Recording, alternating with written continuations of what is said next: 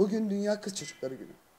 Bugün bir saat içerisinde katledilen iki kadın, sokak ortasında tacize uğrayan bir başka kadın, narin, e, iki yaşında iki yaşında çocuğa tecavüze uğra- uğratacak kadar hayatı hayatı kaybeden Sıla Bebek ve daha ismini sayamayacağımız, sayamayacağımız şiddet ve taciz mağduru onlarca kadın için öfkemizle, isyanımızla, can güvenliğimizin olmadığı bir sürecin sonuçlarıyla buradayız. Yaşamayı öğrendiğimiz için biz korkuların üçüncü kolumuz gibi nereye koyacağımızı biliyoruz maalesef. Biz korkmaktan korkmamayı öğreniyoruz. O yüzden evlere de kapanmayacağız. Cezalar caydırmıyor, suçlular içeride yatmıyor diye biz karanlık iklimin kurbanları olmayacağız. Biz arada olacağız. Birbirimizi koruyacağız ve hakkımızı arayacağız.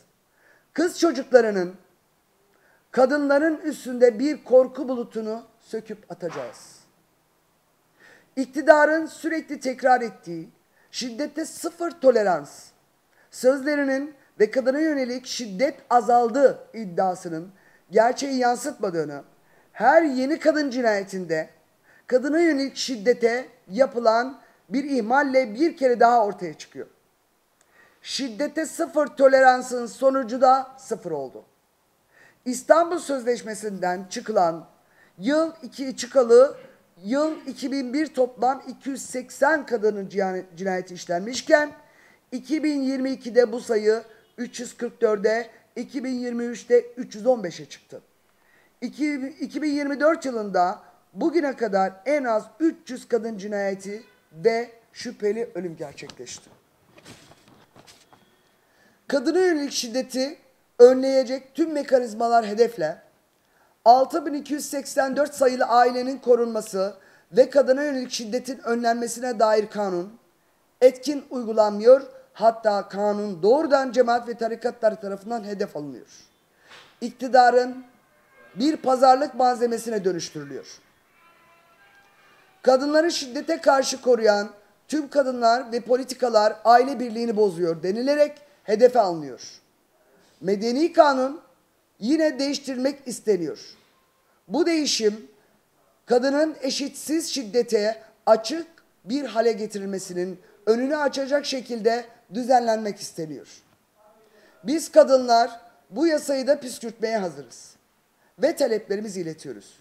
Önleyici, koruyucu ve caydırıcı mevzuatla kadına yönelik şiddetten değil, kadından yana bir ceza hukukuyla İstanbul Sözleşmesi ve 6284 sayılı kanunun tam olarak uygulanmasıyla toplumsal cinsiyet eşitliğinin sağlanmasına yönelik politikalar hayata, hayata geçirilerek kadına yönelik şiddetin önü alınabilir. Ülkemizde 10 Eylül 2011 tarihinde bu yana yürürlükte olan kız çocuklarının erken yaşta evlendirilmesi ve çocuk istismarının önüne geçilmesine yönelik yaptırımları düzenleyen çocukların cinsel suistimal ve cinsel istismara karşı korunmasına ilişkin Avrupa Konseyi Sözleşmesi'ni sözleşmesi er- e, etkin bir şekilde uygulanmalıdır. Sığınma evinin sayısının arttırılması, şiddete uğrayan kadınların tam güvende olması demektir. Cezasızlık politikaları son bulsun, faillere caydırıcı cezalar verilsin. Bizler katledilen kadınların adını bir an bile dilimizden düşürmeden bir öfke ve isyanla mücadeleye devam, e- devam edeceğiz.